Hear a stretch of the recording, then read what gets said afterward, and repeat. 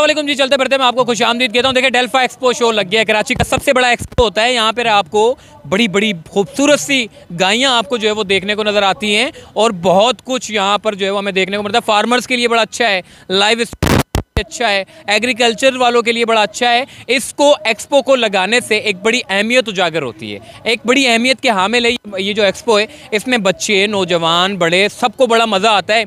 तीस दिसंबर से लेके यकुम जनवरी तक ये एक्सपो लगा हुआ है। तीन दिन की ये नुमाइश होती है और इस नुमाइश को लगाने का क्या क्या मकसद होता है, क्या कुछ होता है, ये तो हम टेक्निकल लोगों से पूछ लेंगे, मगर यहाँ क्या कुछ है, आइए आपको अंदर चल के बताते हैं। चलिए हमारे साथ। आज ही चलते फिरते हमारी मुलाकात हो गई डिजी लाइव स्टॉक से साहब से। सर, ये बताइएगा नज़ीर साहब, माशाल्लाह से एक बड़ा एक्सपो हो गया है। इनका किया गया है लाइव स्टॉक का भी इसमें बड़ा अहम किरदार है।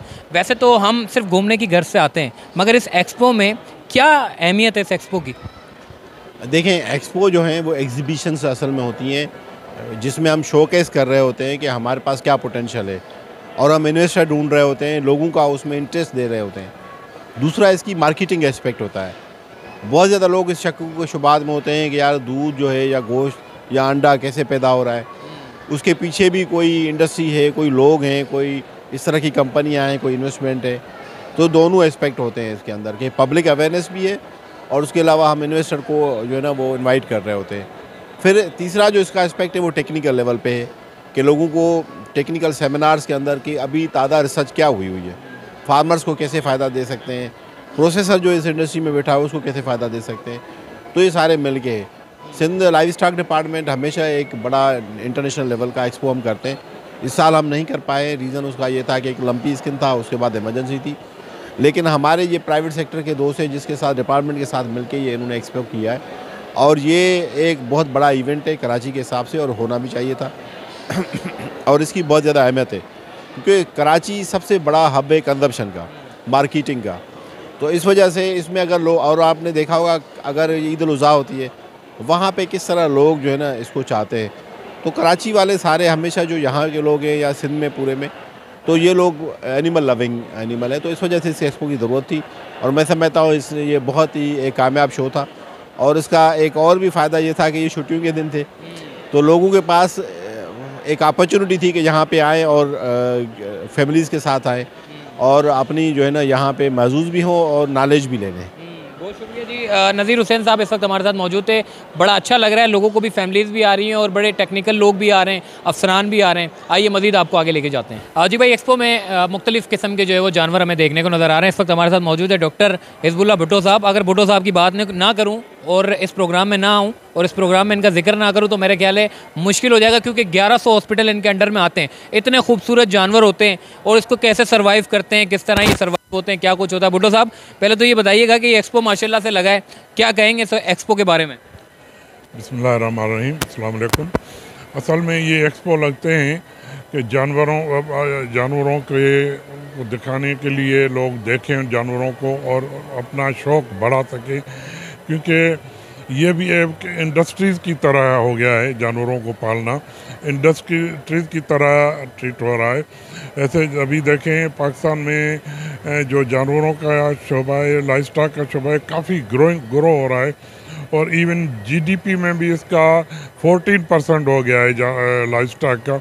तो उसी तरह और एक्सपो से और लोगों में इंटरेस्ट बढ़ता है और मॉडर्न टेक्नोलॉजीज़ इसमें आती है, आते हैं स्टॉल लगते हैं मॉडर्न टेक्नोलॉजीज़ के भी वो उसमें होते हैं कि कैसे जानवरों को की अफजाइश अच्छी तरह से की जाए और अच्छी तरह से फ़ायदा हासिल किया जाए, कैसे ब्रीड इम्प्रूव इम्प्रूव की जाए और कैसे ज़्यादा से ज़्यादा उसकी प्रोडक्शन हम ज़्यादा से ज़्यादा ले सकें।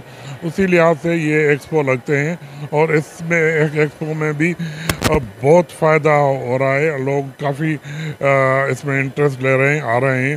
पूरे सूबे से, पूरे पाकिस्तान से, बल्कि बाहर के मुल्कों से भी लोग आ रहे हैं और इन जानवरों में इंटरेस्ट ले रहे हैं। क्योंकि इन एक्सपो में काफ़ी ट्रेड होता है। जो जानवर अच्छे जिनको पसंद आते हैं, वो बाहर भी ले जाते हैं। तो उसी लिहाज से ये काफ़ी कारगर है।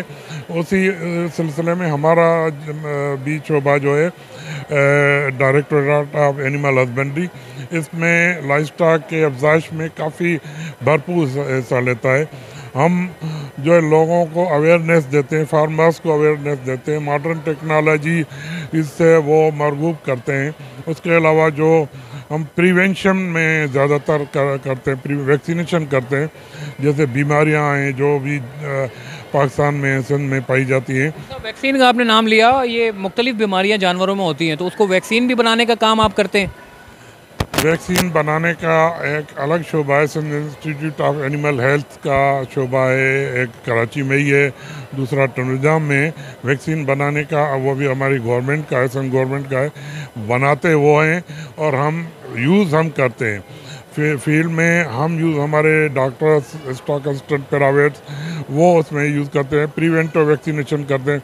मिसाल के तौर पर अगर जनवरी में कोई बीमारी आती है या आउटब्रेक होती है, हम दिसंबर में उसकी वैक्सीनेशन की कैंपेन चलाते हैं तो कि जैसे वो बीमारी को हम कंट्रोल कर सकें। ये काव जो बछड़े हैं, उनका शेड बना हुआ है। ये मिल्किंग पार्लर है। मिल्किंग जानवर जो दूध देने वाले आते, होते हैं उनमें रखे जाते हैं।